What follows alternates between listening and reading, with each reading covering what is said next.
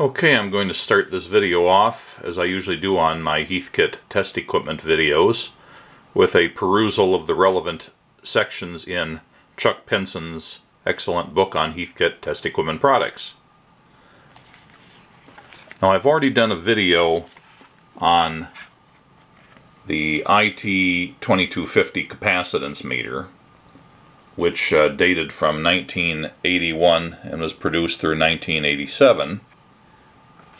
And I've also done some videos on Heathkit's earlier digital uh, VOMs, including the um, IT or IM 1202, IM 1212, IM 1210, and I'm preparing to do one on the slightly later IM 2212, but I thought I was kind of leaving out in the mix the IM2215, which is approximately the same age as the previously mentioned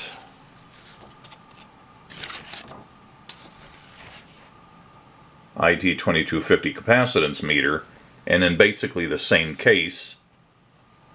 And this is a slightly older product. They went through about the same time before they were discontinued, but the meter, the uh, digital multimeter that is, uh, came out a few years earlier. So that was the basic product that defined that case, and then later on they reused the same basic case for the IT2250. So I never had one of these, although I did own a 2250, but I decided I was intrigued by the IM2215 and wanted to include that in my list of uh, videos for vintage Heathkit test equipment.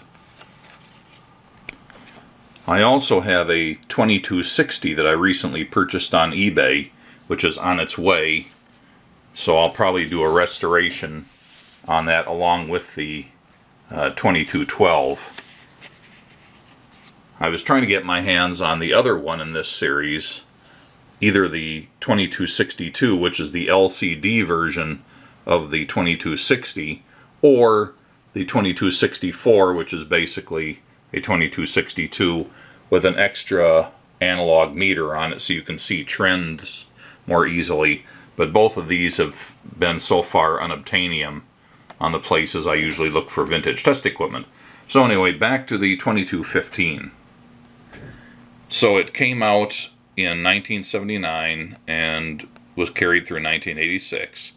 Cost just under $100 at that time or during that period. It was Heath's first handheld digital multimeter. And of course they did have other models that came later, but this was their first. It features a three and a half digit LCD display and push button selection of function and range. It measures plus and minus 1000 volts DC and 750 volts AC maximums. It has overvoltage protection of 1000 volts DC and 750 volts AC on all AC and DC ranges. It measures AC and DC current to plus and minus, uh, 2 amps or 2000 milliamps. It has overcurrent protection at 2 amps in all circuits associated with the uh, current range. The input impedance is 10 mega ohms on all ranges, which is pretty good and in line with modern equipment of this type. It measures resistance to 20 mega ohms with selectable high and low voltage test. It has an optional leather holster and it runs off of one 9 volt battery.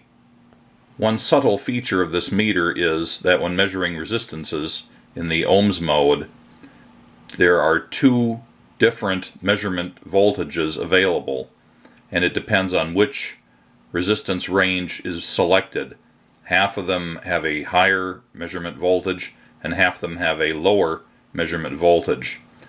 If you're planning on doing resistance checks in a circuit, in other words measuring the resistance of a resistor that's in a circuit, it's better to have a lower measurement voltage so that the uh, silicon junctions, whether in diodes or transistors, is not forward biased with sufficient voltage, and therefore the uh, you won't have the sneak paths through the semiconductors that'll throw your measurements off. Otherwise, you probably prefer to have a higher measurement voltage. Again, it's sort of a sneaky feature. It doesn't call it out on the front panel of the meter. It's just something you have to know about that um, it's pretty much every other range has a high-low uh, alternating measurement voltage. And uh, I'll mention that in a little more detail later on. Okay, here's the meter in its leather carrying case holster. And inside we have the meter in one compartment and the included test leads in the other compartment.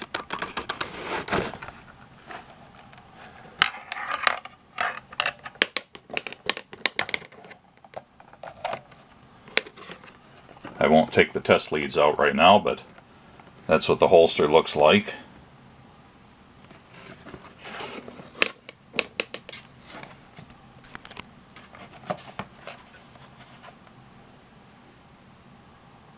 It is designed to be a handheld unit operated by a single hand. It's sort of optimized for right-handed people. You're supposed to be able to mash these buttons with the uh, fingers of the hand. Personally, I must have short fingers or something because I find it's a little awkward. Although you can sort of do it, it's just a little awkward.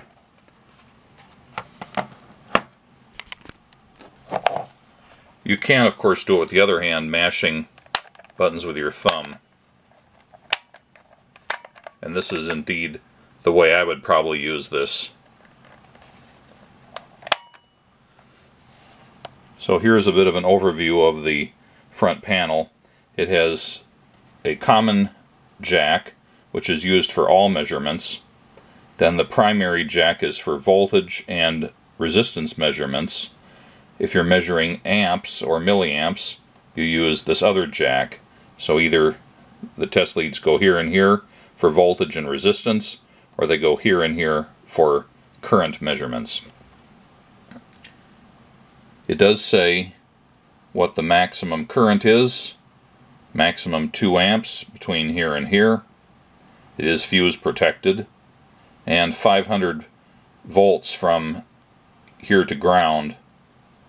Um, and then between common and here, it's 1000 volts DC or 750 volts AC maximum voltage. We can select between the milliamp volt range and the ohms range by using this button which stays in. So the combination of which position this switch is set in and where you have the leads hooked up makes the difference as to what you're actually measuring. So let's say you have the leads here and here. This button needs to be out in the color-coded um, peach colored or whatever that is, pink color uh, for milliamps. And then if you want to measure uh, voltage, you leave this button out, as the picture shows, and connect your leads up to here. Once again, the blue color code.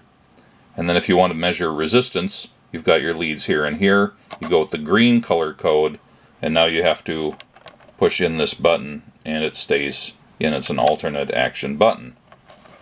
Then you've got the ranges all the way up through here. There are six choices and they're all radio buttons. So pushing one of those six will release which other one was already pushed in.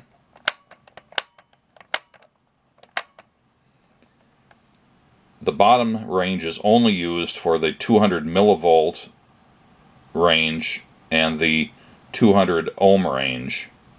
Then the next four ranges are used for 2, 20, 200, and 2000 respectively, although in the case of milliamps, it's uh, 2 milliamps, 20 milliamps, 200 milliamps, and 2000 milliamps, or 2 amps.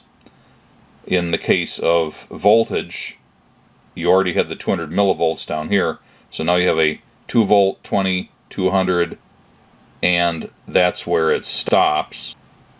So that may actually be a usable range. I would have to check the circuit. And then on the right column, we already discussed the low 200 ohm range, and then we have a 2K range, a 20K range, a 200K range, a 2000K or 2 meg range, and then a 20 meg range, which is the only thing using this top button. Now I said just before that there's nothing on the front panel saying which positions in the resistance range will forward bias silicone junk or silicon junctions and in fact it does I was mistaken about that the ones with the diode symbol are the ones that will forward bias silicon junctions because the measurement voltage is higher on those ranges. If you do not want to forward bias those junctions, you use the 200, the 20K, or the 2000K slash 2 meg ranges. And then finally, the top switch selects between DC and AC measurements. The ohms range is only valid in uh, DC, so to measure ohms you have to have this switch out, and it says that here, reminds you. And then you can measure DC milliamps or amps and DC volts with the switch out. You can measure AC milliamps or amps and AC volts with the switch pushed in. And all that does is it engages the internal precision rectifier circuit, which is also called an AC converter circuit.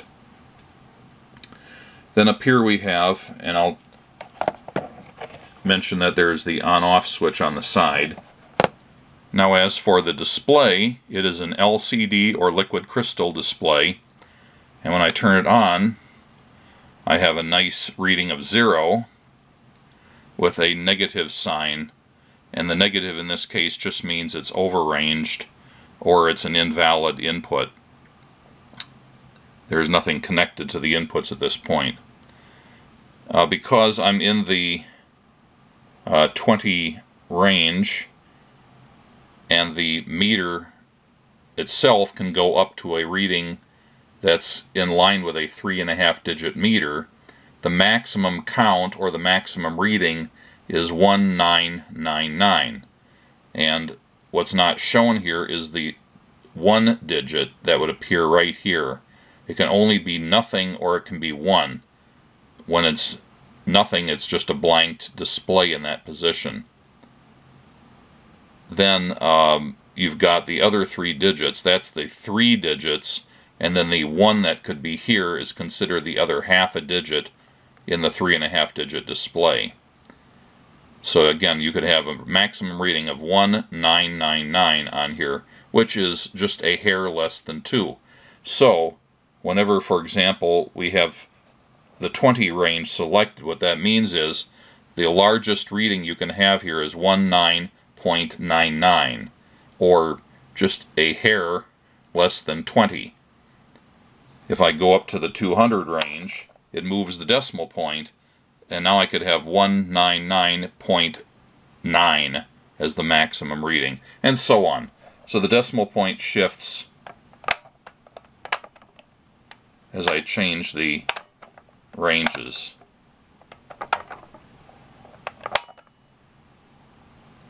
There is also a low battery indicator up here in the upper left, which only turns on when the 9 volt battery that powers this is getting down below about 7.5 volts. The meter cannot work well.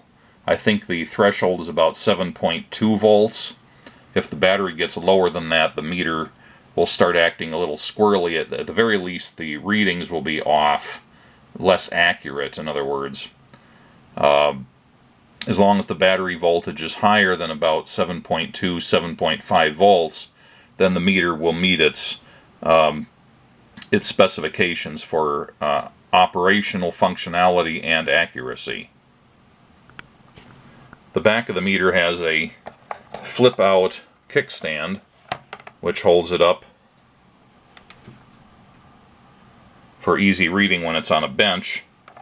If you're using it in handheld mode, then this just snaps down and you use it in handheld mode. Turn the power back off. And by the way, I was lucky to find one of these. This was an eBay purchase. I, I never owned one of these originally to have one already. So this was something I purchased. There, there were several for sale at the time I went looking, and this was by far the cleanest one. It didn't have anybody's name scratched in it, and from the pictures in the sale listing, it did not have any, any of the bleed on the LCD that you sometimes see where there's intrusions of black bleeding in from the edges. It's a very clean display.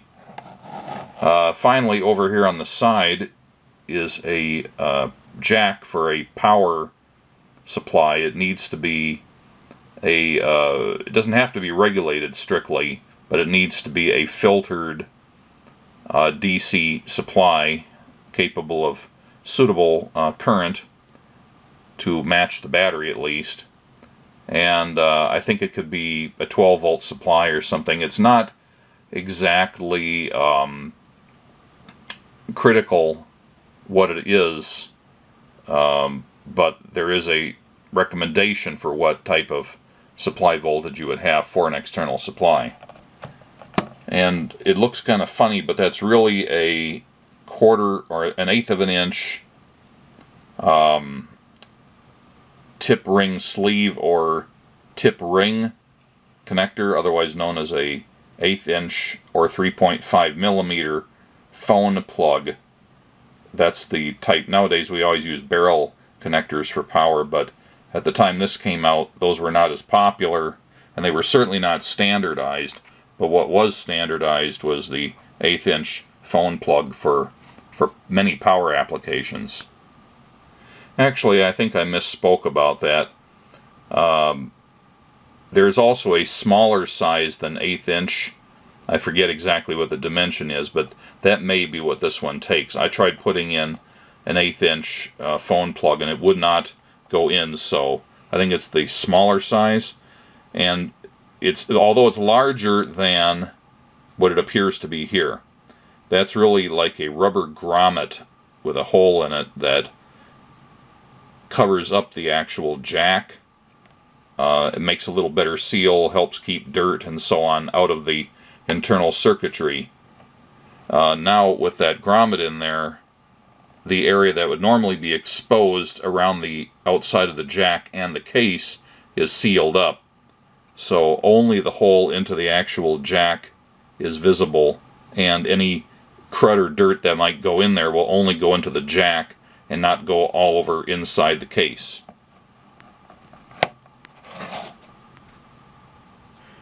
So here's the internal view with the circuit board removed. It's all on one circuit board except for that small one on which the LCD display is mounted.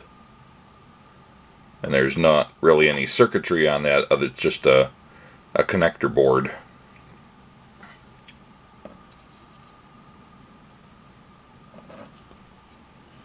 So a lot of space is taken up with the switches and most of the connections are on the circuit board but there are a few done with wires on the top. You've got your input connections, various discrete components. Uh, there's a custom, I think, probably a resistor network and then a big shunt resistor that's probably for the current mode. Some trim pots. There's a probably an op amp IC I don't have the schematic for this yet but that's probably a digital chip but I'll find out later when I get the schematic. And down in there you can kind of see it just next to the uh, ribbon cable there. The shiny large IC in there that's a Intersil. Is it the 7107, 7106? One of those. One of them's for an LCD, one's for an LED. This is obviously for the LCD one. And that's really the all-in-one uh, digital meter chip. And the rest of the circuitry here would be to condition all the different types of inputs so that it ends up with the requisite input voltage to that one big IC in there. There we get another view of the the big chip in there. Some support components under the display. Some of them for the the big chip, but some for other things just spilling over. I suspect that op amp there is the one that's used in the AC to DC converter or the precision rectifier circuit that's probably used only for the AC ranges. And my guess would be that the vast majority of this circuit is switches and resistors. There is a transistor down there. Um, you're going to need at least one transistor probably for a constant current source for the ohms mode. That would be my guess.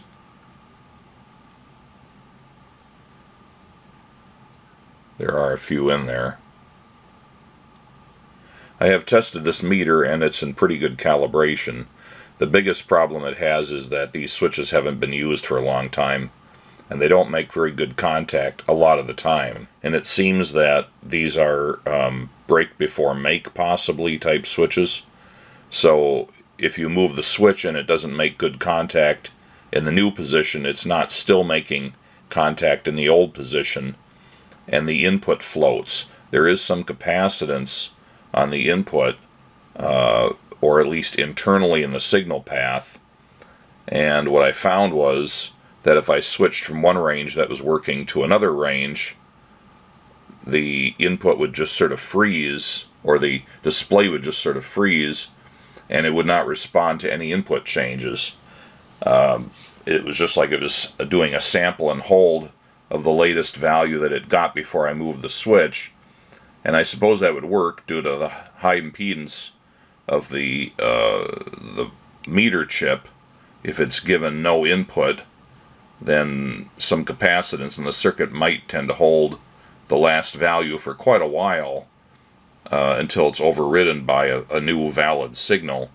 And that I could only get by, you know, just mis, uh, manipulating, kind of doing this type of thing, wiping the contacts, and then all of a sudden it would start working. So uh, these are sealed switches. I cannot spray any deoxit in there. Um,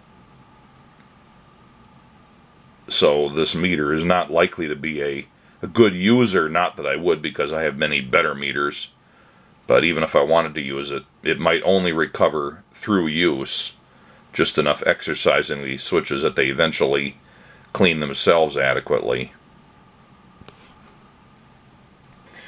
This is one cute thing that I haven't seen elsewhere.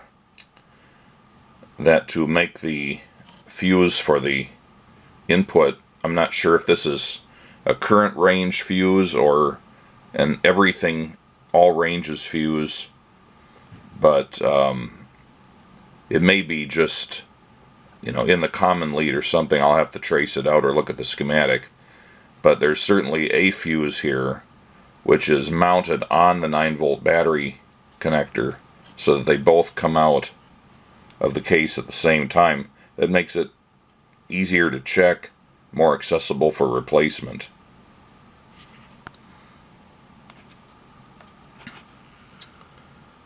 So here is the bottom of the case with the insulator slash shield wrapped around. The shield only gets connected to the circuit one point and that's over here where the screw goes through and that goes into this uh, aluminum spacer which goes to the circuit board and I'm sure we'll find out yeah that looks like a kind of a star pattern coming off of there.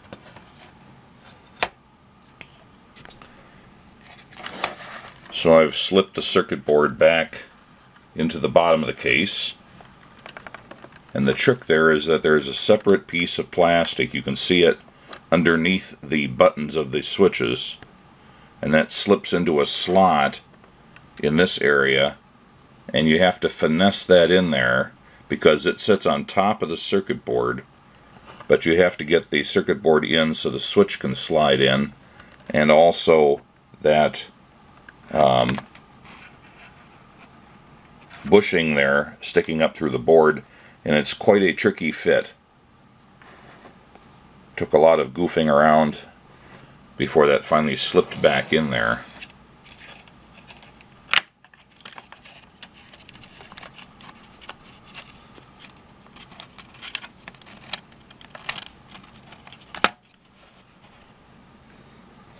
Another tricky thing is getting these wires back in there so they don't get pinched by the case.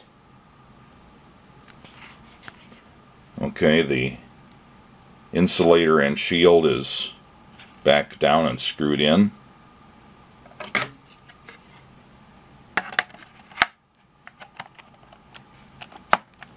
And then the front of the case just slips down on top. Make sure it's not pinching anywhere. Looks like it'll all close.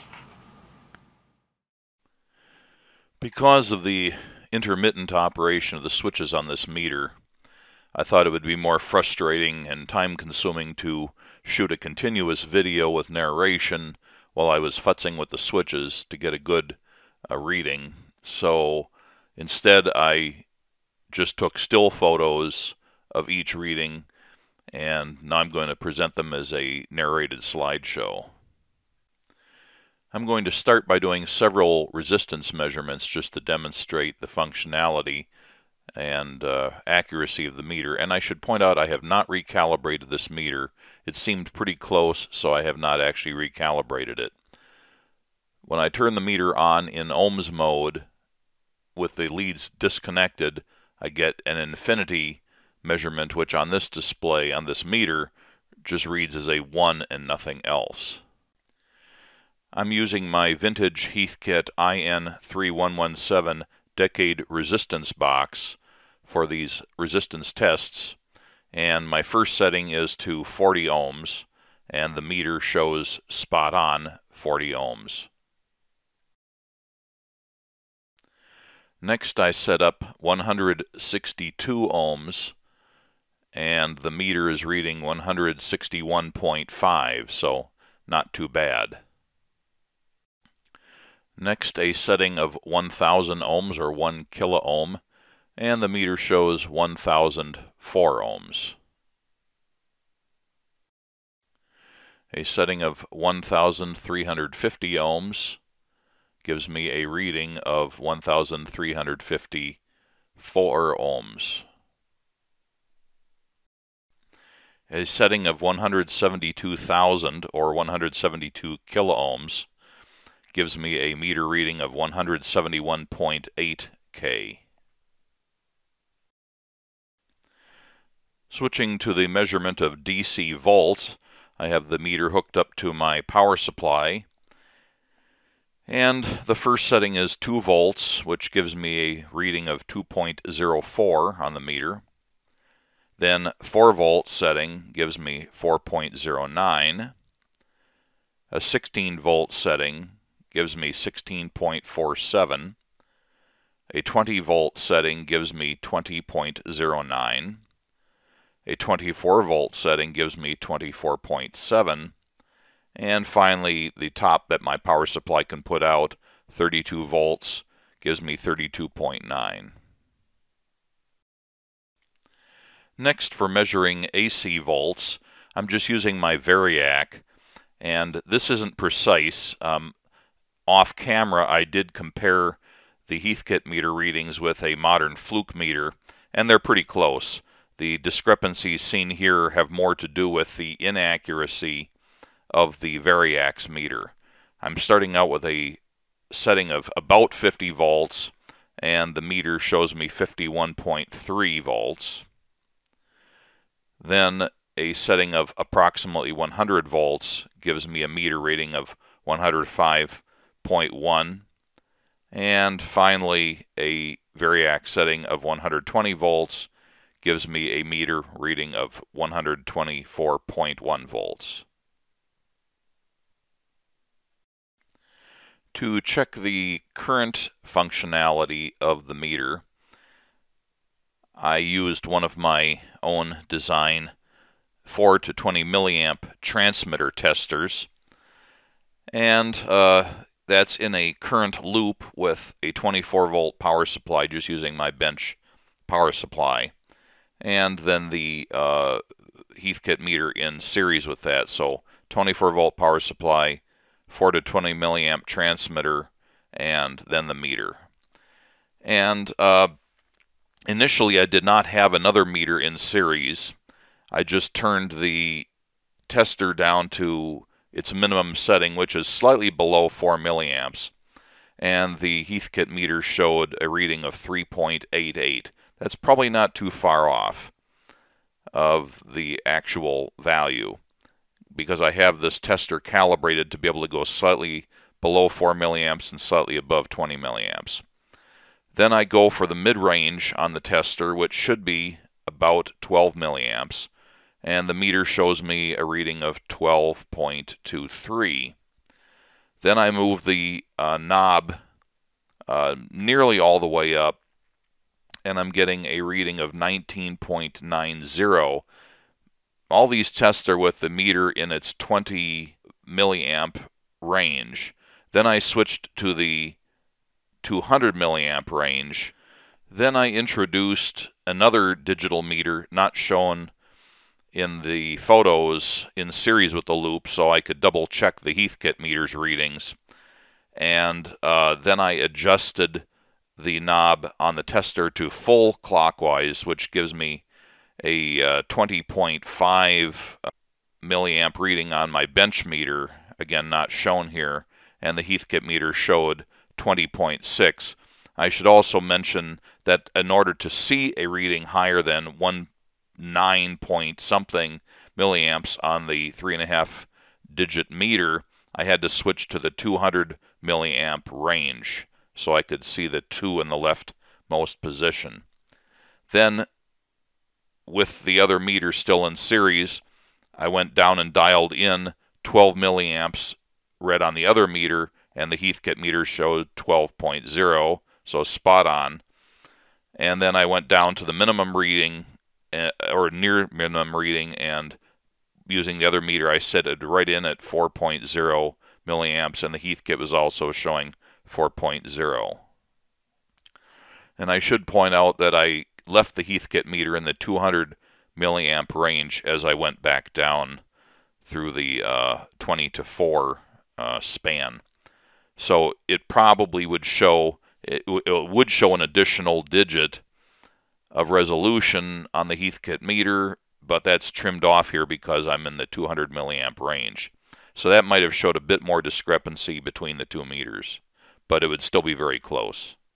Now with the basic meter functionality verified, I'm going to move on to my usual in-depth uh, description of the schematic diagram and therefore the circuit theory behind the operation of this meter. Okay, I'm going to go through the uh, circuit and the schematic in some detail, as I usually do on these videos. And to keep it a little simpler, I've reproduced the schematic several times, and I'm going to discuss one copy of it at a time. Each one is marked up for different aspects of the circuit, so we don't get overwhelmed. This first copy is for the power circuit and the U4 support. U4 is the ICL 7106. That's the Intersil part number for the original 7106. Now Intersil is long out of business and different companies have made these chips. They're still made today. They're just a building block, boilerplate kind of IC for implementing a three and a half digit uh, meter using a fixed input voltage range. and they handle everything from uh, references to differential inputs to scaling circuits to dual slope, um, analog to digital conversion, uh, formatting of the output for the type of display, display driving, all of that stuff is inside this one chip. So these are widely used, and Heathkit did use the ICL 7106. So, first off, the 7106 is set up to use both positive and negative voltages. It has various circuits inside of it to control that, but one thing that's important for this circuit is we have a 9 volt power source with a power switch. There's a protection diode. It's a Zener diode of 12 volts. It should never turn on unless you connect something here that's more than 12 volts. Now looking at the actual schematic, here's the 9 volt battery. Its minus side goes to VSS and there's the negative side of the 12 volt protection Zener diode. So that's the minus side of the battery. I guess I should probably mark plus and minus on there. It wouldn't hurt. Plus and minus, there we go. So the minus side of the battery is connected to VSS as shown here. And then the plus side of the battery normally goes through the uh, AC adapter jack. And if the adapter is not plugged in then it just continues through the jack. It goes through the power switch and it becomes VDD and of course it goes to the plus side or the cathode side of the Zener diode protection. So that's what's shown here. I left off the schematic for the jack I just come out of the 9 volt battery go through the power switch here's the cathode side of the 12 volt Zener and then we have VDD so that gets you a nice 9 volts from here to here. But what's this plus 2.8 and minus 6.2 stuff? Well, the VDD is applied to the V plus pin of the 7106 and the VSS is applied to the minus or V minus input of the 7106. Internally, within the 7106, is a precision uh, power supply circuit or a voltage reference circuit more accurately. It doesn't supply power so much as it uh, is a voltage reference. It effectively positions the common terminal of the 7106 at 2.8 volts lower than the V plus terminal. And again, I should probably mark that in there for clarity. So this whole thing is the 7106. And this is V plus. And this is V minus. And this is COM. So, to recap, that uh, internal voltage reference in the 7106 positions the COM terminal at 2.8 volts lower than the V plus terminal, meaning that the uh, in reference to ground, these voltages here are in reference to ground or the common of the 7106, and therefore VDD is plus 2.8 relative to common, and VSS is minus 6.2 relative to common. You add up 6.2 and 2.8 and you get the 9 volts that's applied. So that's essentially how we get a plus and minus or bipolar power supply in the meter circuit without having any power supply components. We're utilizing that sort of obscure internal feature of the 7106 to effectively get a bipolar power supply from a 9 volt battery. Or if you plug in the external AC adapter, then that disconnects the battery and provides its own 9 volts in place of the battery, and everything else is the same.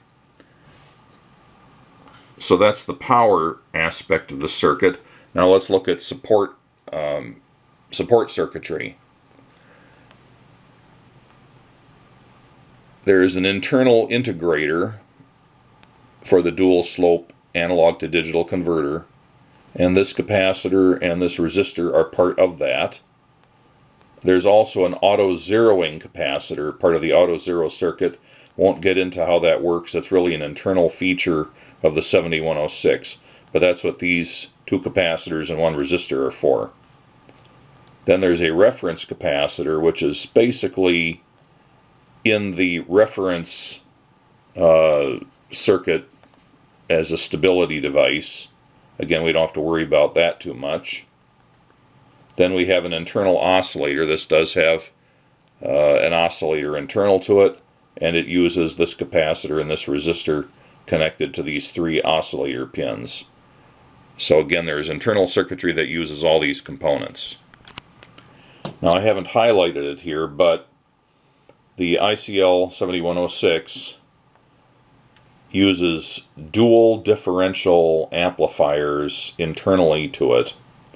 So you have a differential input that the positive side is called input high and the minus side is called input low. So that's a differential input there. Then there's also a reference high and a reference low on these two pins. So what it's doing is it's taking the voltage between ref high and ref low and comparing it to the voltage between in high and in low and it takes the ratio of those two voltages multiplies them by 1000 and that's what it tries to display on the digital readout. So it's always looking at a ratio of the reference and input voltages. That'll come into play and be important later on when we discuss certain other parts of this circuit. But before I move on, the uh, input high, the ref low, the ref high, all get conditioned by external circuitry, but the input low is always tied to circuit common and to the common pin of the 7106. So it's always referenced to this point here.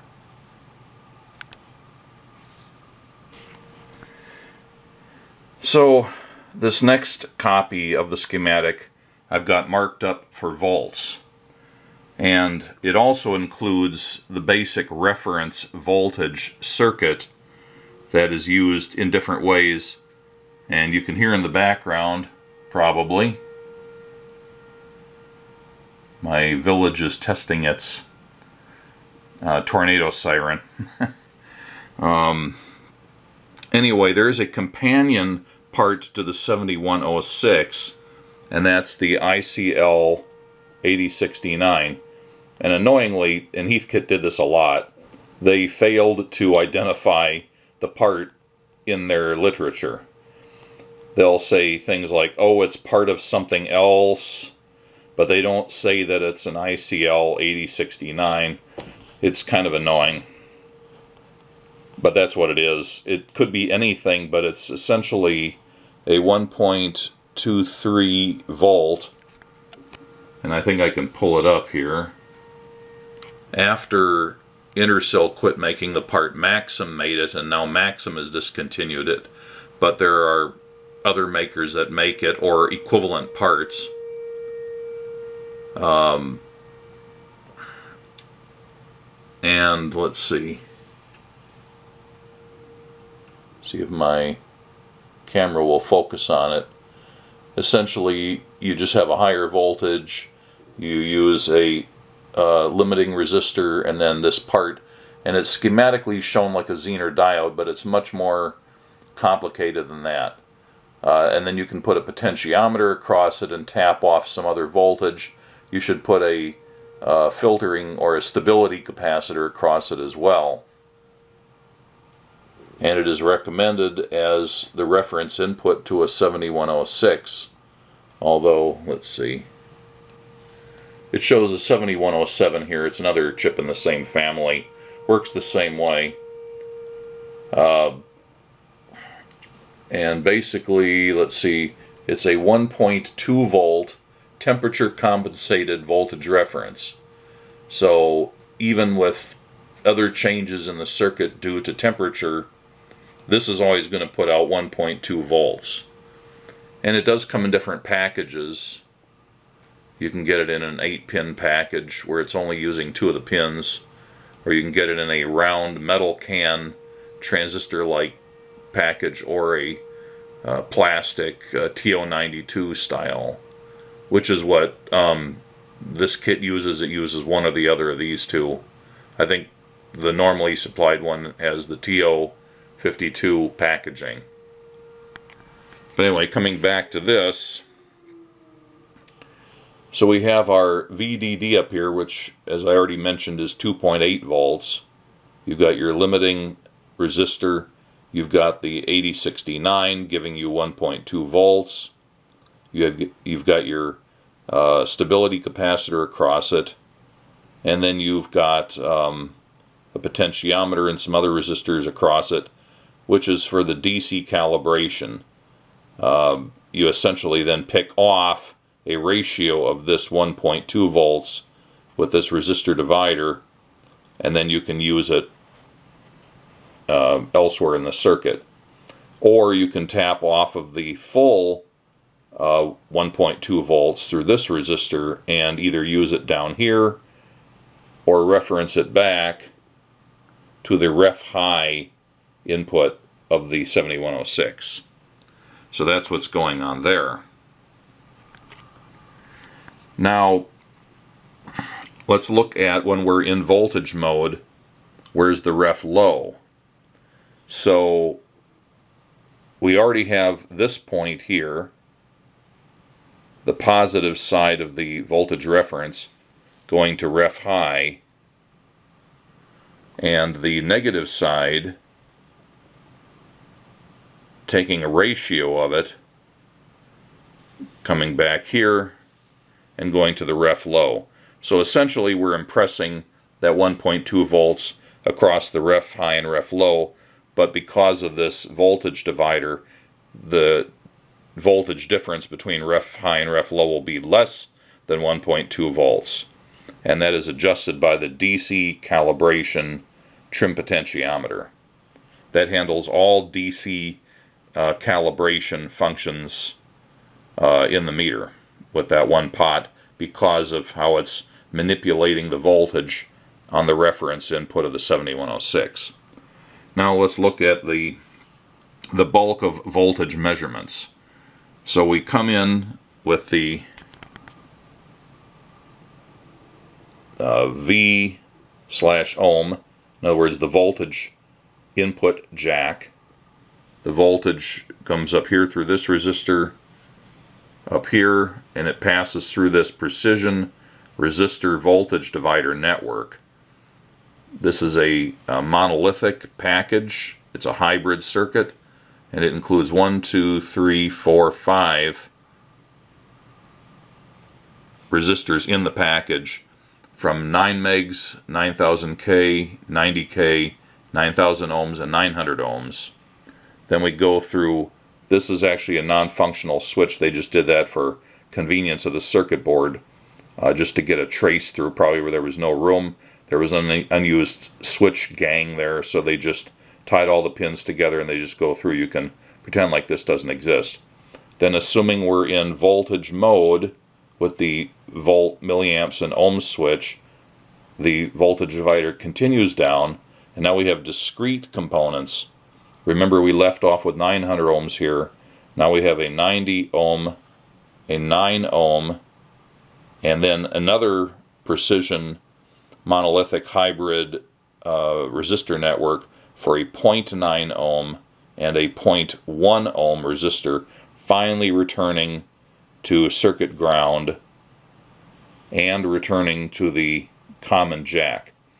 So essentially what we've got here is whatever input voltage we're connecting here and here is impressed across this great big voltage divider, which ends up being quite a high impedance. If you add up all these other values from 0.1 ohms all the way up to here to 9 meg, you have a 10 meg resistance between these jacks or across these jacks. That's why this meter's rated as having a 1 mega ohm input impedance that is always there regardless of what else you do in the circuit. Now let's pretend that we have the 20 volt scale set. So all these switches here are the range switches and they are shown as if they're in the 200 millivolt DC position. In other words, the lowest position. So I've marked this gang of the switch as being an exception. When we're in the 20 uh, volt range, this switch will be closed from here to here instead of here to here. So essentially what we're doing is we're tapping off the voltage divider here, going through the switch, and by the way, at that point there's also a capacitor that branches across some of the resistors. That's just for a little additional stability. We feed back through these other contacts. Then we come up here, and again this is a ratio of the overall voltage tapping off of the voltage divider. So now we go through the um, volt, milliamp, ohms switch again, and then through the AC-DC switch, since we're presuming at the moment that we're in DC volts, our tapped off voltage continues through here, goes through another gang of the AC-DC switch, and then we have a filter that's comprised of this 1K resistor and this capacitor 0.047 microfarads to circuit ground so that's just a traditional RC filter that uh, takes any higher frequencies and shunts them to ground. So we are trying to look at DC here because we're in DC volts mode so it's shunting any AC component out to ground and leaving only either very slow uh, changing um, DC or actual non-changing st uh, stable or static DC voltages. We run through this coupling capacitor and we go into the input high uh, pin of the 7106. Now we already know that the input low is tied to circuit ground, which is the same thing as the negative lead of the test leads and the bottom of this resistor divider. So, once again, all we do is we take whatever is applied to the input jacks, run it through this big voltage divider, tap off of it, give it a little bit of a low-pass filter, and then run it into the uh, input high. And the input low is at the other side of the potential of the uh, big input divider. And as I already mentioned, then we the chip, the 7106, compares that voltage to the something less than 1.2 volts coming from here because of the DC cal control. And it takes the ratio metric difference of the input voltage and the reference voltage, multiplies that ratio by 1000, and that is what it tries to display up here. So that's how DC voltage is measured. Okay, now I've got another copy of the schematic marked up for how amps are measured, or milliamps. We have a very similar arrangement here. The uh, again, we're presuming it's DC we're talking about here. You've got the DC cal uh, trim pot is taking a portion of the 1.2 reference voltage and impressing it on the reference high and low inputs of the 7106. So in that sense, it's just like with measuring the voltage. Now, we are not using this jack anymore because there's a separate jack for milliamps or amps. We're not using this jack anymore. Therefore, we are not connected up to the top of this big voltage divider. It's not in the picture in its normal capacity anyway. But what we are doing is using the bottom part of the voltage divider, meaning the uh, 9 ohm resistor, the 0.9 ohm, and the 0.1 ohm resistor, these two being in the precision uh, hybrid resistor network. And let's see what we have. We come in, we pass a current through the milliamp jack, through the protection fuse. It's limited to 2 amps, which is the maximum. It's actually 1.999 amps that it can measure. We come up here, and now let's say that we're in the two or 20 milliamp range. So this switch here is closed in that range, and all the others are as shown. So that current goes up here through these two switches, and now it comes through here. If we were in the 2 milliamp range, then it would continue up and come down this way. But because we're in the 20 milliamp range, it comes here and passes through the 9 ohm resistor, through the 0.9 ohm resistor, and through the 0.1 resistor, and returns to circuit common, and also returns out the common jack and continues on its way. So the current is basically doing this. Because the current is flowing through this low value resistor, let's see what it is. It's going to be 10 ohms, right? 0.1 plus 0.9, that's 1 ohm, plus 9 ohms, you've got a 10 ohm shunt. And that develops a voltage between circuit common and wherever the current came into the divider, which is here. So we've got some voltage developed from here to circuit common, and that voltage is proportional to the current coming through the jacks. So we tap off of the voltage divider and we go up through this part, but it doesn't really matter what these resistors are because everything downstream from here is such a high resistance that any resistances here look like nothing. It's essentially a direct uh, connection. It feeds back through here through the uh, volts milliamp position of the switch, through this do nothing switch, and it passes through the 90k, 9000 ohm, and 900 ohm portions of the upper resistor network, but again, those are as nothing compared to the downstream impedance, so you can just think of these as being a direct wire going through here. And this switch here, switch 5, is the same switch as down here that we're using to pick the 20 milliamp range. Up here it's called 20 volt, but it is physically the same switch. So when this one is engaged, this one is engaged down here. So we break out of this circuit here and we take the same path we saw before measuring DC volts. We come through here, come through here. Once again we have the uh, low pass filter, RC low pass filter, and we apply to the voltage to the input high. Remembering that the input low is tied to circuit common.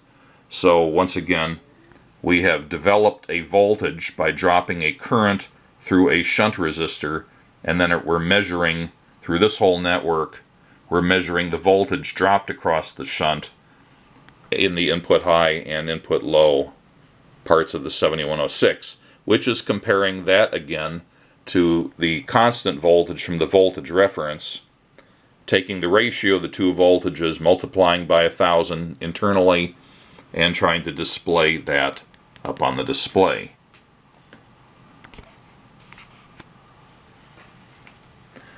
So now I've already shown how DC volts and DC milliamps are measured, so it's time to talk about how is it done when it's AC. Well, everything I already described is exactly the same. The difference is when we get up to here, or coming out of this network, now because this switch is in the AC position, as is this one, now instead of just routing the signal around the AC-DC converter, we go through the AC-DC converter, and then everything after that's exactly the same as it was for uh, DC volts or DC amps. So this is the actual signal path. We have a capacitor and a resistor and those feed into this protection network here, a diode clamp to VDD which is positive 2.8 volts or a diode clamp to VSS which is minus 6.2 uh, 6.2 volts. Uh, it doesn't matter the way this op amp here is powered because we're not using anywhere near that maximum voltage range. We're only working in a couple of volts above or below the common voltage of zero volts. So the fact that it has a power supply of only plus 2.8 and minus 6.2 doesn't enter into it as long as we don't exceed a couple of volts above or below the zero reference point. Then we have another coupling capacitor. These coupling capacitors are here to reject any DC component because again we're in AC mode now. We don't want to be looking at any DC voltage or DC component of an AC voltage. Instead we're looking at only the AC part. So this, this capacitor and this capacitor strip out any DC component. And now we have to reference the result of this to circuit common and that's what this resistor here does. It goes back to circuit common and therefore it establishes that as a zero uh, reference at least in terms of uh, the DC aspect of the circuit. Now you may notice that this is a 1000 mega ohm resistor you think, wow, I've never seen a resistor that big before. But that's what's here. And it seems like it's an incredibly large value, but then you have to remember that the input impedance of an op amp is way higher than that. It's practically infinite. So by comparison, this is still a rather low resistance value.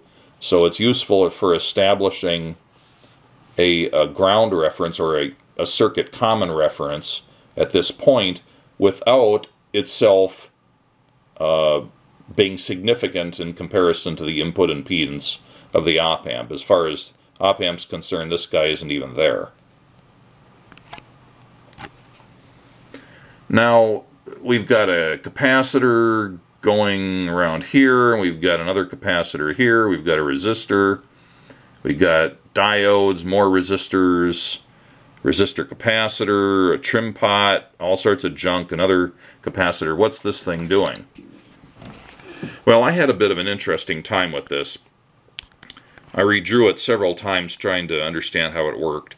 I am familiar with a number of different um, precision rectifier circuits, and I was also reading the circuit description in the Heathkit manual, which didn't do the greatest job of describing how this circuit worked. And I realized that this circuit here is very close, if you strip out all the puffery around it, it's very close to being a classic precision rectifier circuit. Full wave precision rectifier circuit, I should clarify. And let me digress for a moment. So why do we need a precision rectifier anyhow? Well, if we're trying to convert AC to DC, you might say, well, the simplest way is just to take your input signal, run it through a diode, and you've got your output signal. This is AC, this is DC. It's a half-wave rectification because it's only taking into account when the input is positive and therefore the diode is forward biased. But, and this may seem insignificant if you've got fairly high voltages. For example, in a power supply, the say 0.7 volts or thereabouts forward drop of the uh, diode is insignificant. If you're running 20, 30, 40 volts, for example, you can ignore that and it's just not really part of what you're worried about. But when you're working with small signals, that can really mess things up. For one thing, this voltage here needs to get up to the positive forward bias of this diode, you know, a substantial fraction of a volt, before it will even start conducting. So let's say it's 0.7 volts. Now you've got an input signal that's working between, say, 0 volts and 0.7 volts. You'll get nothing on the output because it's not enough to forward bias the diode. Once you start getting above it, all of a sudden you start getting an output. But now let's say you've got 0.8 volts out here. You lose 0.7 volts in the diode, and now you've only got 0.1 volts out here. Well, that's a substantial difference from 0.8 volts when you're only working in, for example, a, a 2 volt range, which is pretty typical for meters. So the precision rectifier comes in using an op amp. This is a classic inverting uh, buffer op amp. So the positive input's tied to ground or circuit common. You've got your input. You run through a, say, a 10K resistor into the minus input or the inverting input of the op amp. Then you have a feedback resistor that's, for example, the same value, another 10K resistor. This is going to have a gain of 1 and but wait, there's this diode stuck in here. So remember that a characteristic of the op amp in this configuration is that it's going to adjust its output until it gets both inputs to be the same voltage. So let's say you put your uh, 0.8 volt input here. It's going to try to drive the output here until it gets 0.8 volts back here. Now, in reality, this is going to look like 0 volts, but this is also tied to ground here, so this is also 0 volts. Is looking for 0 volts. Let's say that you, uh, the op amp is going to try to drive its output. It sees this as being um, a, uh, a current going into the input, again, hypothetically speaking, there should be really no current going in because it's a practically infinite resistance. But just bear with me. Uh, it can detect that you're trying to uh, drive the input and it drives the output until it has the same thing coming back here as was going here. So it's essentially stripping out the diode forward drop. It always boosts its output enough that the diode drop is canceled out until you get stasis in the op amp. I maybe didn't describe that in the best possible way, but because the diode is inside the feedback loop of the op amp, its forward voltage drop is overridden by the op amp. And the op amp will stop correcting once you have the same thing here as here. So if you had 0.8 volts here, you can get 0.8 volts here. This is going to be 0.8 volts plus the 0.7 volts. It's going to be higher here, but this is not where we're looking at the signal. We're looking at it out here. Now, because this is inversion, it's really the other way around. Minus 0.8 volts would give you a plus 8 volts out here, but um, now we could rework this to be a non-inverting op amp. We just move some of the parts around a little bit. But that's the essence of a precision rectifier. Now I've redrawn this circuit here and left off the front end protection stuff and some other things. Just trying to get a better picture of what's going on here. So now we're in the non-inverting configuration of the op amp. We have a, a, capacitor and a resistor, once again stripping out any DC component. Um, essentially, any DC component cannot get through, and then we have this high value 1000 meg uh, reference resistor establishing this point here at 0 volts. Uh, now, if we drive the input positive, we're on the plus side of the AC waveform, uh, we go through this capacitor, which should look like it's a short circuit when we have AC, just like this one looked like a short circuit with AC. And now we've got a positive output, so it's going to go through this diode. This is the one that's going to conduct. This diode and this resistor are like they're not even there because this diode is reverse biased. So now you come through here and now what you have is a voltage divider being fed. You got this resistor and then this resistor. This here really acts just like one resistor. This is the AC calibration trim pot. It's a small value compared to this resistor. You can think of both of these as being just one variable resistor that could be anywhere between uh, uh, 3K and 35 uh, or 3.5K rather. It can be anywhere in that range. So, you know, roughly half of this. So we're sort of cutting the voltage coming through here in half and taking that and we filter it with a very small value capacitor. That's just for stability. And we feed that back. Once again, this capacitor is going to look like a short circuit because it's still uh, something that's moving in an alternating fashion. And then that couples back to the minus input. So it's an awful lot like what we would normally have in a non-inverting op-amp circuit. Uh, the op-amp is going to try to drive its output until it gets the same thing between its positive and minus inputs.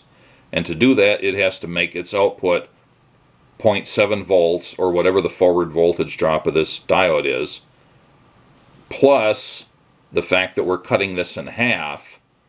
So let's say we come out of here with um, 1.7 volts, right? So we strip out the 0.7 here, and then we take the resulting 1 volt and cut it in half. We have half a volt, and that's fed back around here. So it's going to adjust its output until that makes sense and we have the same voltage here and here. Then when the waveform goes negative, it's going to try to drive the output negative. The same thing happens, but now this guy looks like he's not there because this diode is reverse biased. And now this diode conducts. it's the same thing. We still have the 6.8K resistor. We still have the 3K whatever CalPot. We still have this uh, stabilization capacitor. We still feed back through here. And it does the same exact thing, but in the negative uh, direction. Now, that doesn't do us a lot of good, except that we know that we have now successfully rectified this, um, except that the input is still going positive and negative. We're allowing it to because of the configuration of these diodes. But we're tapping off of this point, going through an RC filter, and then going out. Uh, the way this particular there's ways of setting up precision rectifiers such that you're actually using both the positive and negative half. This is not well explained in the Heathkit documentation, but I think what's happening here is that for purposes of our measurement, we don't even care about the negative part of it. Uh, what we're doing is we're tapping off when it's conducting through this way, fairly high value resistor and a capacitor, and then going out to the meter, the 7106. Uh, this is doing nothing here when it's conducting in the negative part of the circuit. But every time we're in the positive part, we pump some current out of here into this capacitor and then it's measured. So I think what's happening is that this capacitor is holding the value here during the negative part of the waveform and then it's getting topped off, recharged, refreshed on the positive part of the waveform, and that's what we're measuring. Um, there was something mentioned in the Heathkit circuit description saying that the way this works out, it compensates, it's compensated for somewhat by the fact that we're doing this voltage division here. So that uh, uh, the average value on here is a little bit saggy. It's a little bit below, but that can be compensated for by how you adjust the AC cal here so that you essentially get the correct output here in DC corresponding to the AC value up here. So I probably used enough time on this, but that's essentially what's going on. Hopefully I haven't put my foot in my mouth anywhere in relation to that. I only spent about 15-20 minutes analyzing the circuit, so I hope I didn't miss anything important. Okay, for resistance measurements, once again I have another copy of the schematic. I've marked it up to highlight the pertinent parts of the circuit. Now if you've seen my other videos on various digital meters produced by Heathkit, they all had one thing in common, and that is that they measured the resistance by passing a regulated or a constant current through the resistor and thereby measured the voltage drop across the resistor and just measured it like a voltage and had it scaled such that uh, the voltage drop by the resistor would be proportional to the uh, the resistance in such a way that it would make sense when you displayed it on the meter. This guy works a little differently. It uses one of the other techniques for um, for measuring the resistance. It does not have a constant current source. So instead of measuring resistance the way I just described, this circuit uses a ratiometric approach. What it does is it takes a fixed voltage it doesn't matter what that voltage is, and passes it through two resistors in series. One resistor is a fixed or reference resistance, and the other one is the resistance that you're trying to measure. And then it takes the difference, it measures the voltage across the reference resistor and compares it to the voltage measured across the resistor under test, takes the ratio of the two, hence the ratiometric part I mentioned earlier, Ratiometric just means measuring the ratio. Um, so it's comparing two different voltages measured differently. And to make that a little uh, clearer, hopefully, I've redrawn it. So let's say we have a voltage reference. This is a fixed voltage. It does not change. And then we have our reference or resistance standard. I'm calling it RS. And it's in series with Rx, which is the resistance that we're measuring, or the resistor under test. And then there's a little fixed resistor in here, it doesn't really matter. Um, we pass this, we apply this fixed voltage from here to here, and therefore a current flows. It's the same current through RS and through RX. Therefore, a voltage will be developed across this according to simple Ohm's law which is proportional to this resistance. And then under the same exact conditions, the same current going through both resistors, we can measure the voltage across here, which is proportional to this resistance. But we don't know what the current is, nor do we care. All we know is that both the reference resistor and the resistor under test have the same current going. Therefore, the, the voltages taken across them, when you take the ratio of those, they will be playing on an even playing field. So we have voltage ref developed here and voltage input here. These are applied directly to the 7106. Remember that we have the reference high and low on the 7106 and we have the input high and low on the 7106 and that the 7106 takes the ratio of the reference voltage and the input voltage divides that or multiplies that ratio by a thousand and that's the number it displays. So let's take a little closer look at this circuit here. We already have the negative terminal and I should probably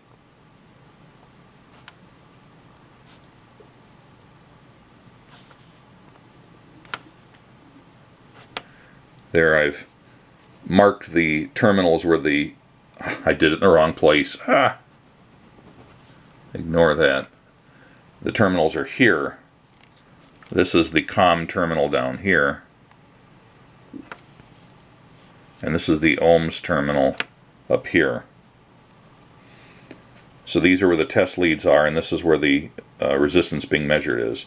The common terminal is already tied to input low, and we can't avoid that because that's the way the 7106 is wired up. Input low is always tied to circuit common. Then we tap off the other side of RX. We have a little bit of a filter here, resistor and a capacitor and that just rejects anything out here that may be changing fast enough for this capacitor to be shunting. Normally it wouldn't do anything. We just measure that voltage off as V in. Meanwhile, we are measuring across the reference high and reference low from the reference resistor and we have a little bit of a protection on there. There's a uh, temperature dependent resistor and a Zener diode and a series resistor and that is all part of measuring this resistance here. So now let's go back to the actual schematic. We have this reference up here but we're not using it the way we did for for AC DC volts or AC DC current but it is still there. Here however we're not using the ratio of this 1.2 voltage reference through the DC cal pot. That's not being used at all. This switch makes sure that this part of the circuit is even isn't even connected up here. Instead what we're doing is we're taking the high side of the 1.2 reference coming through this resistor R9 and passing it here to the ref high and then the ref low is instead being tied, or remember that the, the uh, negative side of this guy is at circuit common. But because we're measuring across a reference resistor, the other side of this cannot be, the ref low in other words, cannot be at circuit common. Instead, this circuit that I illustrated here is played out up here. It's really the same thing, it just looks different because of the arrangement of the components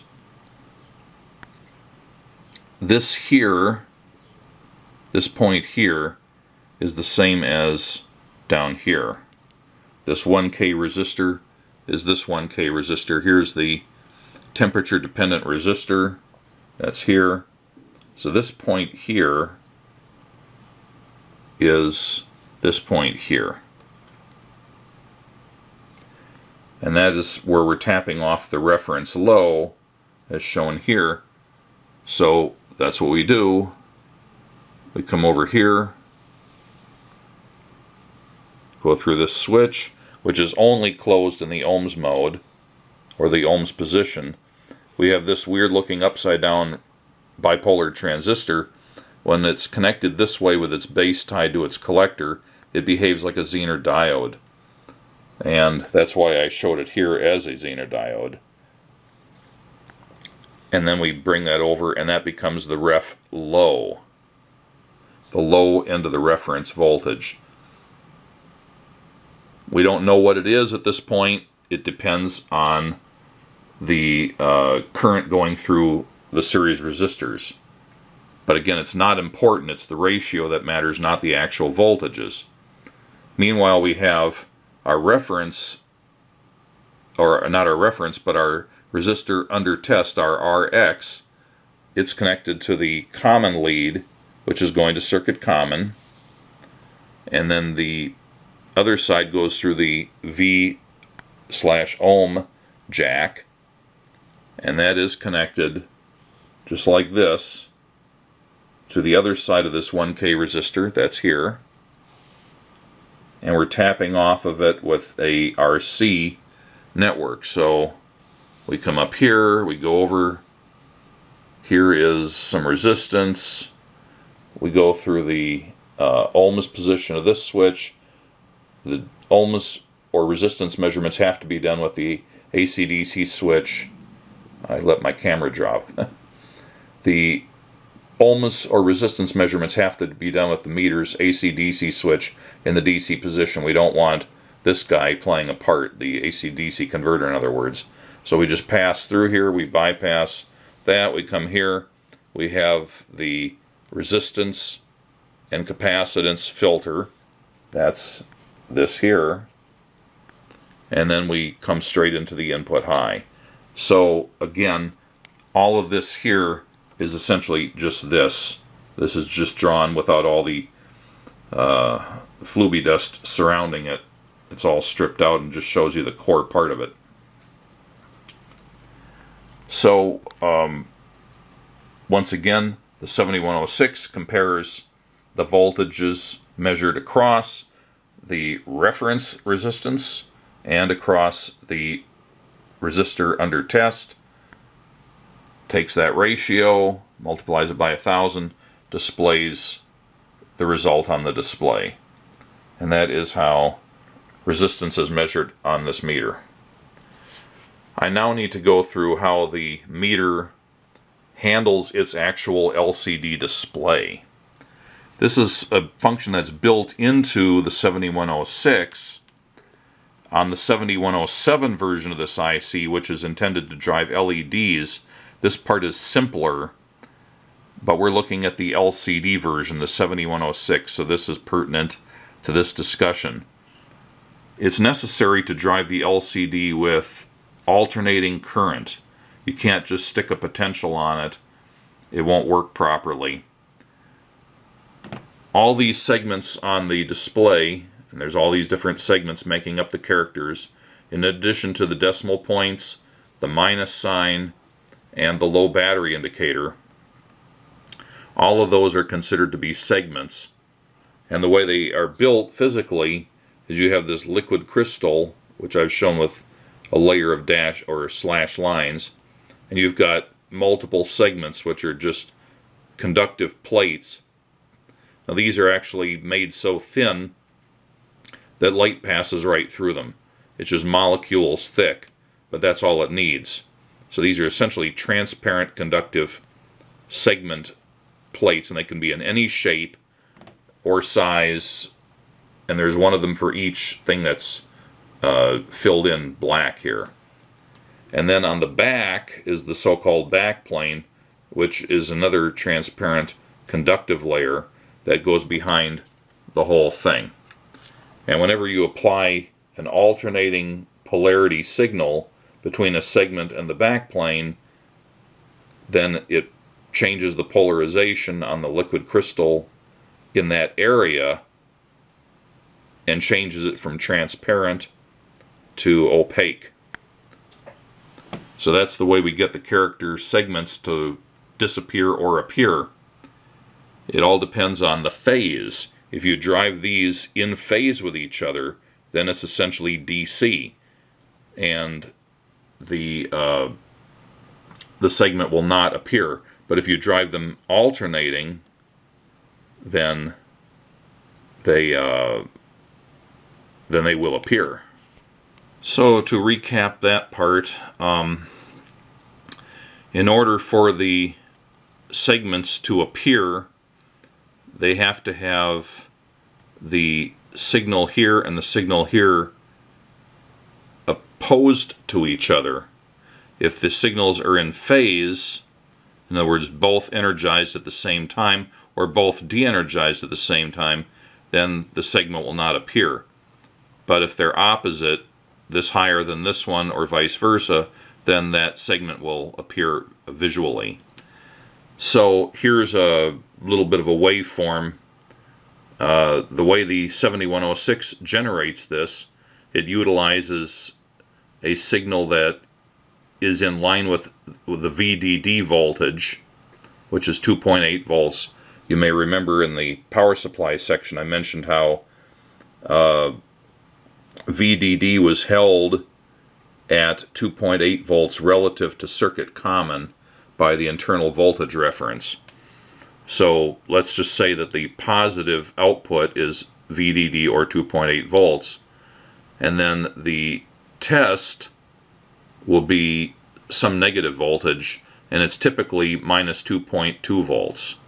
That's the voltage coming out of the test circuit here and is also consistent with the signals coming out of all the 7106's segment driver pins. Each of these goes to a different segment on the display. They're not multiplexed in the sense that an LED seven segment display would be. All the segments are driven simultaneously. There's a, a wire for each one.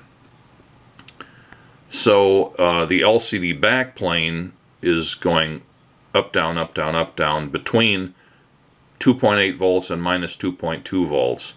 Meanwhile, the LCD segments, if we want them to appear, are just the complement of that. When the backplane is on, the segment is off, or again, not off, it's just at the opposite state. And that means that all the segments would appear. But if you shifted this 180 degrees so that this was on when this was on, or vice versa, or both were low at the same time, then the segment would not appear visually. So that's the way that the 7106 drives the LCD. It takes care of all that internally. You don't really have to worry about it. But it does not know about decimal points. It can detect when it's a negative voltage and it will also turn on the uh, minus sign. But what about the decimal points? It doesn't know about all this range selection stuff out here that we've already talked about. So that's where this extra circuit has to come into play. Here is the range switch. The uh, I've got these marked for resistance, but they could be uh, any of the other ranges. So the 20 meg range, 2000K, 200K, 20K, 2K, and 200 ohm ranges. And these four middle ones are the ones that are used otherwise. So this is a 2 volt range, a 20 volt range, 200 ohm or 200 volt range, 2000 volt range, but you can only go up to 1000 volts. And the same thing with amps, um, uh, except in that case you can go up to 2 amps. So the range switch has all these separate gangs here. They're all mechanically tied into the ones that do the switching up here, but these are additional gangs, and they're used to control the decimal points. They're all tied to a common line, which is VDD or 2.8 volts. Meanwhile, the VSS line, remembering that VSS is minus 6.2 volts, so we have our 9 volts from the battery applied between here and here. So this logic gate, instead of being powered, for example, from 0 to 5 volts, it's powered from negative 2.2 volts to 2.8 volts, which is 5 volts, by the way. So it's in a happy place. It's just that where it thinks ground is, is actually minus 2.2 volts. And that's in line with what the 7106 is trying to do. Um, there are these pull down resistors here which are pulling down this input, this input, and this input, pulling it down to the, the test voltage or minus 2.2 volts. So I'm going to stop here and look at how the XOR function works, just as a bit of a reminder or a primer. I've made a truth table over here, but before I talk about that, let's revisit how this set of XOR gates are connected one input of each XOR gate. They're all tied together, and that goes up to the 7106's backplane signal. I've already talked about how the backplane is always modulating uh, between 2.8 volts and minus 2.2 volts. So it's sort of an AC signal.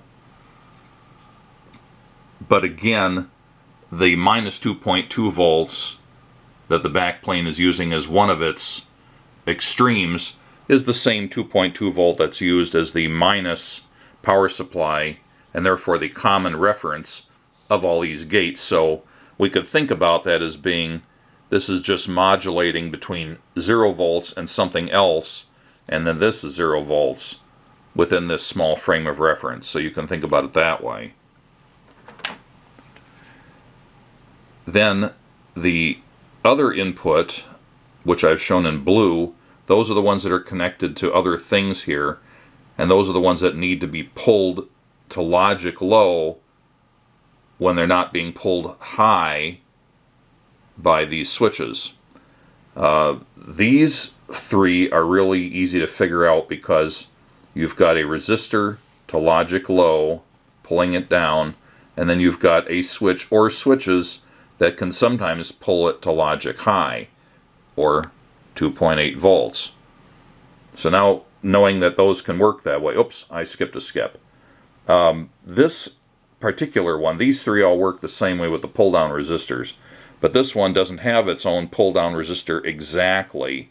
But what it does have is you have this upside-down NPN transistor, which if we just pretend like it's not there at the moment, you have a path here to the collector and then through this 470k resistor. By the way, these are all 470ks too. How about that? And it has to have some way of getting to uh, to a negative potential. And I was trying to figure out how it gets to a negative potential. Well, I thought for a moment it might be trying to get to ground or circuit common by going through the power supply uh, internally and getting pulled that way, but no, this side of it's tied right to VDD, which is 2.8 volts. So in this case, these three have one pin each, or one input each, tied to logic 0. This one has one pin pulled to logic high instead, but at least it's being pulled somewhere. So ignore my little squirrely lines here. I was trying to figure out how it goes. So now to the function of the XOR. This is the backplane input. That's all these yellow ones. And here is the DP, or the decimal point input, which is these ones in blue. Although this one isn't technically used as a decimal point, but for the sake of the truth table, that's what I'm calling it. And then we have the output, which is these four points, the outputs of these logic gates.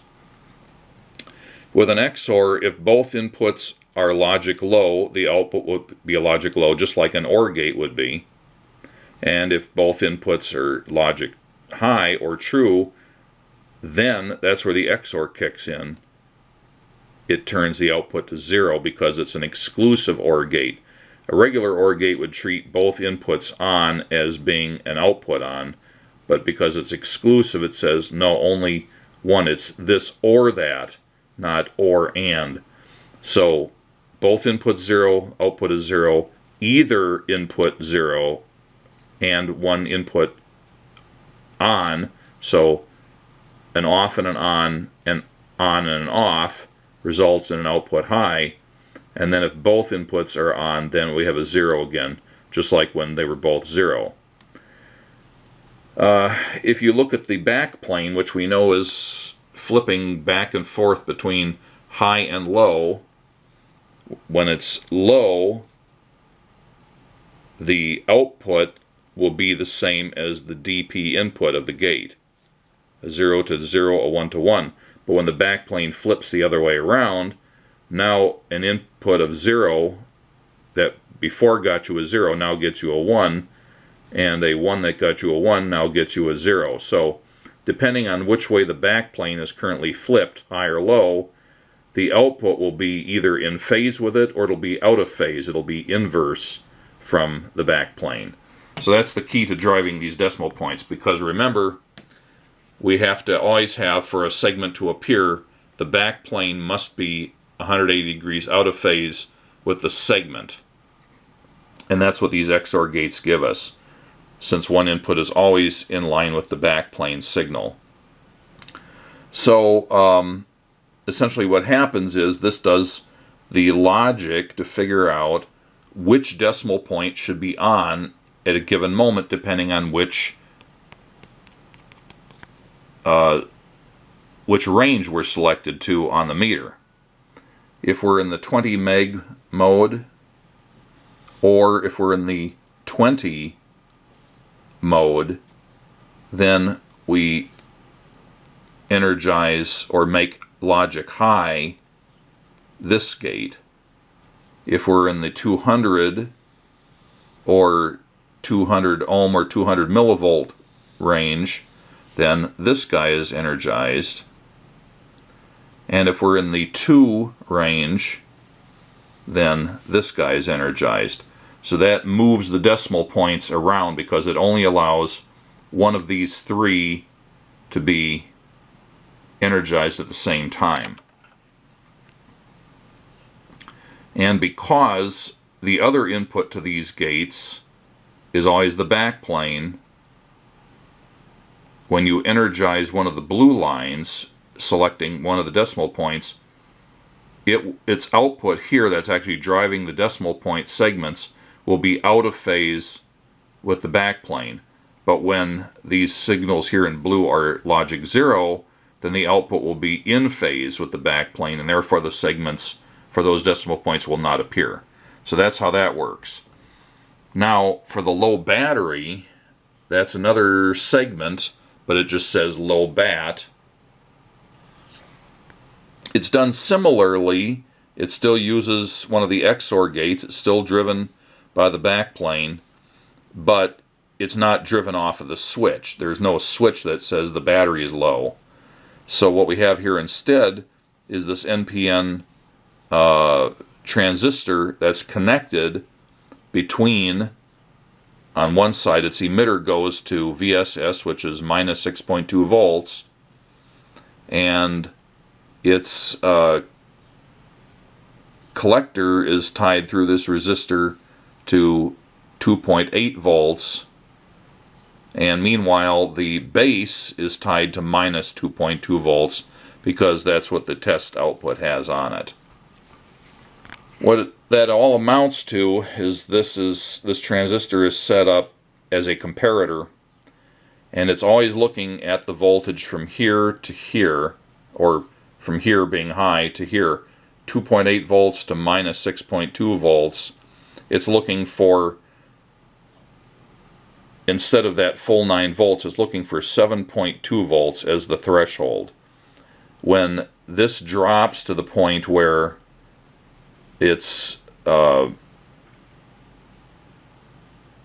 less than 7.2 volts between here and here, this transistor starts conducting and now it's pulling the uh, the input to this XOR gate in the opposite direction. Before, remember that this input was tied through this resistor to VDD, that's 2.8 volts. But when the transistor starts conducting, which happens again when the battery voltage gets below 7.2 volts, now we're pulling this point low and it's being pulled up to VS or pulled down to VSS, which is minus 6.2 volts. So that is how we activate this input of this fourth XOR gate and thereby control whether or not the output here is in phase or out of phase with the backplane and therefore whether the low bat indicator or low bat segment I should say is visible or not visible. So that's how the low bat is done. It's not a function of the 7106 it's a function of this uh, voltage detector comparator transistor circuit and this remaining XOR gate. There's a part of this circuit that I deliberately skipped over or ignored when I was talking about the ohms functionality. And that is the subject of what voltage is actually applied to the uh, resistor network here between the standards or reference resistor and the resistor under test. Remember we have this voltage reference that's causing an equal current to flow through both resistors.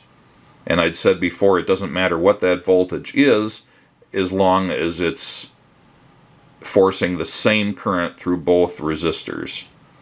So here's a nuance of this meter. Um, here is where the positive side of the reference voltage comes out. It goes through this low value resistor it goes through the switch here and like I'd mentioned before it's applied to the top of this uh, two resistor series connection but there's this transistor hanging out here that we didn't talk about before and it's going to circuit common and it has a 270 ohm resistor in series with it. And it is driven by the 20K switch and the 2000K or 2 megohm switch so that if either of those ranges are selected it conducts over here and turns this NPN transistor on which now provides this 270 ohm load down to here. It acts like a, a shunt or a voltage divider and essentially what we're doing here is it's dropping the voltage at this point. It forms this into a resistor network or a voltage divider. So you've got your reference 1.2 volts up here. It's going through a 1K resistor and then a 270 ohm resistor to circuit common. So you get, you know, roughly a little bit more than a, uh, a quarter of the voltage, or actually, uh, well, this is roughly a quarter of this, so you're dropping that uh, proportionally. Therefore, this point here, which is this point at the top of the resistor circuit, drops to a lower voltage. And the way that works out with these resistor values is normally you have enough voltage here that if you have any uh, semiconductor junctions in a circuit and you're measuring a resistance here that's in a circuit instead of just a resistor you're holding in your hand, but one that's in a circuit, uh, there's enough voltage potentially here as a result of this higher reference voltage to actually forward bias some of those silicone junctions, silicon junctions. I keep saying silicone, I don't know why. Um, and therefore you could get weird results. You wouldn't be measuring the actual resistance because now you're bringing all sorts of other things into it by way of forward biasing those, those junctions. If you're measuring in an in-circuit situation and you want to avoid turning on any uh, solid state junctions in the circuit, you have to make sure that your available voltage is below the typical 0.6.7 volt forward bias voltage of those silicon junctions. And the way that's done is on some ranges you engage this transistor and you drop the voltage. So now this drops to a point where the amount available across the RX terminals is insufficient to forward bias anything. And that amounts to like every other range. The 20 meg range does not do it. The 2 meg range does. The 200K range does not do it. The 20K range does. The 2K range does not. But what about the 200 ohm range? This is another nuance there is no switch from the 200 ohm range turning this transistor on, but in the 200 ohm range, it the meter does work with a lower uh, voltage applied to the resistors. And in this instance, it's just doing it because these resistors I've circled here, this 1K resistor, this 1K temperature dependent resistor, and this 1K resistor here they're all in the circuit and they're all a low enough resistance that with everything else being in here, taking into account the uh, the reference resistor and everything else, you just intrinsically have a lower voltage. Uh, the rest of this kind of loads that circuit down and you get enough voltage drops in these resistors here to effectively have a lower voltage out here without having to take action with this transistor to shunt some of it away. So every other range has a lower measurement voltage for the resistances and then the remaining ranges have a higher voltage. That was something I mentioned early on in this video and that is how that is accomplished. So the only thing I have left to discuss is calibration standards and circuit protection. I've already talked somewhat about circuit protection in the course of the other uh, sections of the circuit description, but I'll go over them again. We have this 12 volt Zener diode here on the power supply, making sure if we have a really high voltage applied, more than 12 volts, that it gets limited 12 volts by this Zener diode. And the only time you're going to have that is if you connect an external power supply to the jack and it's not the one that Heathkit recommends which is a 9 volt output. Same as the 9 volt battery. Uh, maybe you plugged in some other model of power supply. So now the battery is disconnected and you apply 9 volts between here or you apply something higher than 12 volts between here and here. Um, then that Zener diode kicks in and limits it to 12 volts and it can work. The, the 7106 can work. Everything else in here can work with a power supply up to 12 volts, although 9 volts is the nominal. Uh, everything else will adjust or compensate or work just fine with 12 volt supply. The anytime you have a Zener diode dropping a voltage, you need to have something to limit the current someplace to drop the remaining voltage let's say you had uh, 16 volts applied up here. Well, this is 12 volts. Where do you get rid of the remaining 4 volts? And that's what this resistor here does. It's in series with the negative side, but only when we're bringing in power through the jack, not when we're bringing it in from the battery. So if the Zener kicks in, the remaining voltage is dropped across this 47 ohm resistor. That's what that's there for. So that takes care of that. We have these, uh, we have this NPN transistor up here connected with its base to its collector that makes it act like a Zener diode. That is protection for this part of the circuit. We have a similar thing up here, two of them, but they're facing opposite directions. This ends up like effectively two back-to-back Zener diodes facing in opposite directions. So if one of them breaks down and conducts in the reverse direction, then it will flow to common in the forward direction through this one.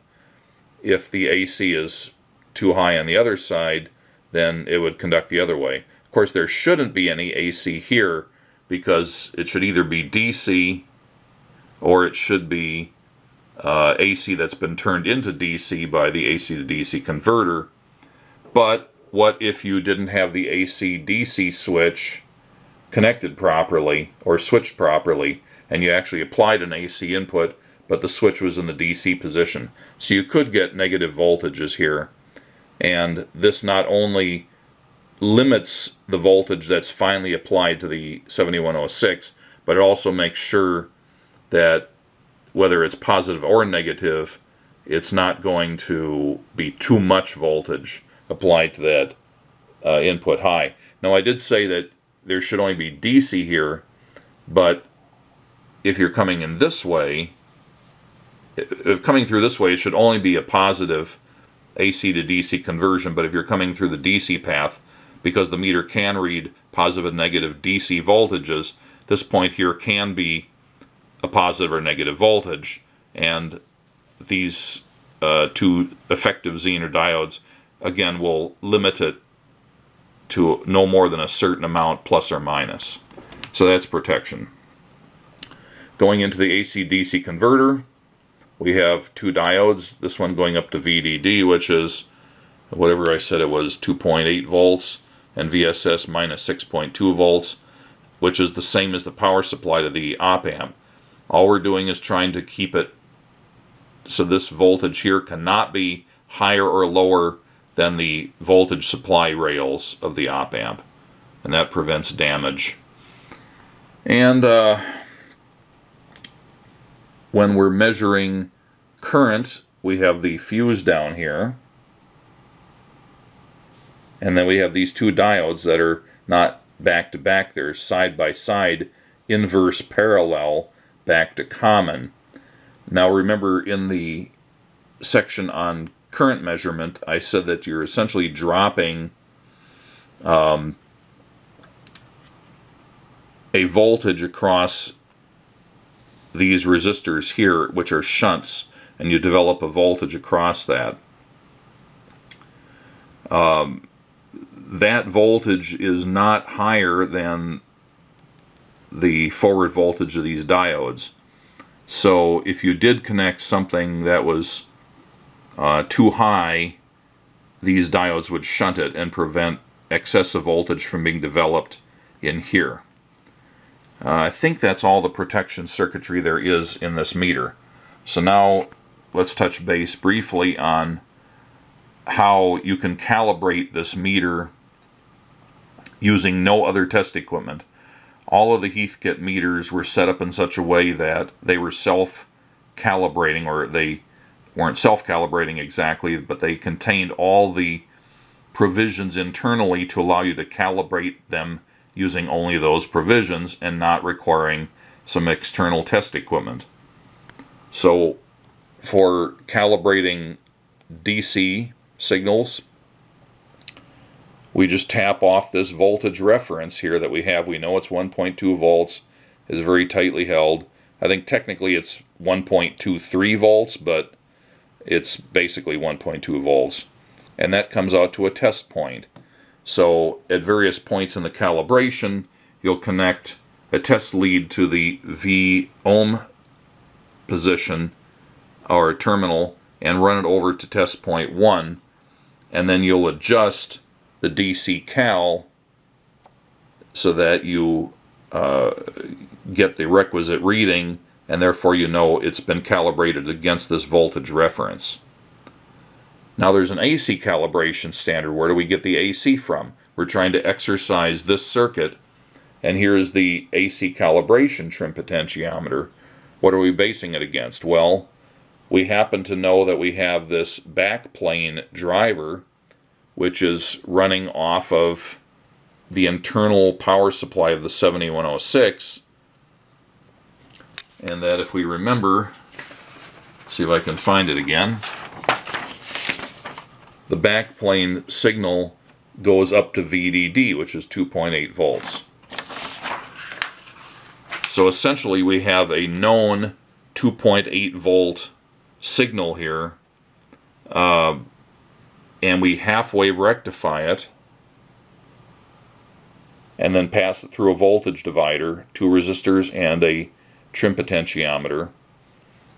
And this is set initially using it in a DC mode and then an AC mode. And once this is set, then you essentially have a AC calibration standard which can be measured here it's a little tricky to describe how that's done, but it's a known ratio between what this signal should be just based on what we know about the other voltages and what we know about what this voltage must be and how it reacts. So we can take a measurement here and then look at it as a ratio of this voltage reference and thereby adjust this guy and then use this test point to measure and get a signal through the AC-DC converter and thereby adjust the AC calibration. I won't go into it further than that, but that's the general drift.